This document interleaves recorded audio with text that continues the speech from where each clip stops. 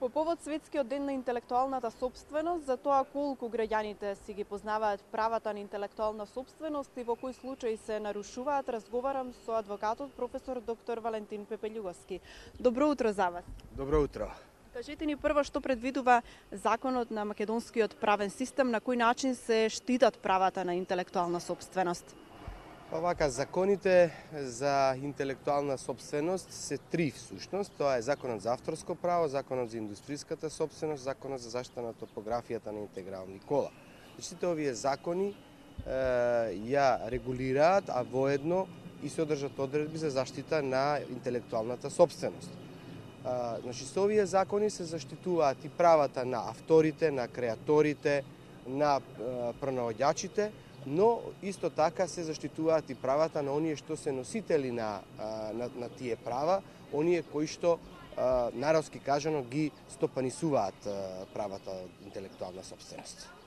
Колку од ваше искуство граѓаните си ги познаваат своите права на интелектуална собственост од непосредниот контакт со нив во секојдневната работа? Јас мислам дека се уште недоволно, и ми се чини дека а, треба од мали нозе, што се вика уште од а, последните а, одделенија во основното училиште, а сигурно веќе во а, средните училишта да се направат напори и да се зборува, да се едуцираат нашите деца за а, правата од интелектуална собственост, а, што може да се користи слободно, што не може да се да се користи слободно, што е забрането, а, што е Да, што, што представува кривично дело, што представува повреда на, на, на тие права.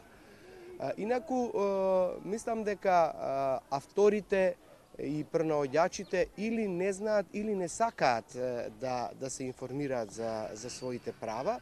Ова од, од причина што многу е полесно да а, ги пренесете, да ги отстапите вашите права, без притоа да го почитувате правниот поредок.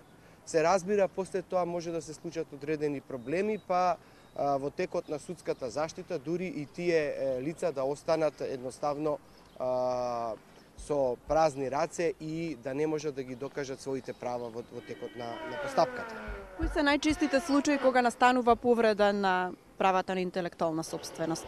Па најчесто во Република Македонија се повредуваат авторските права од областа на музиката, од областа на филмот, од областа на софтверот, а во делот на индустријската собственост најчесто предмет значи, на повреда се трговските марки и индустријскиот дизајн.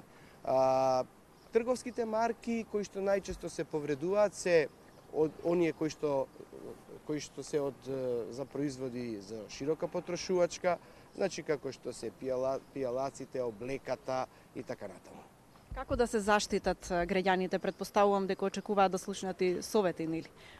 Знаете, граѓаните може да се заштитат првенствено самите, доколку следат како се остваруваат нивните права, како се користат нивните, нивните права од интелектуална собственост, при што ќе мора доколку можат сами да се да се обратат до оние кои што ги повредуваат правата, а доколку не, ќе мора да ангажираат адвокати. Истовремено може да ги информираат и надлежните органи како што се пазарната инспекција, координативното тело за за интелектуална собственост и се разбира оние мерки кои што не би сакал да да се случуваат во Република Македонија, но секогаш а, има и такви може да биде информирана и полицијата и јавното обвинителство. На крајот се завршува пред пред судовите да се докаже или не одредена повреда. Професоре, ви благодарам за овој утрински разговор. Ви благодарам и вас.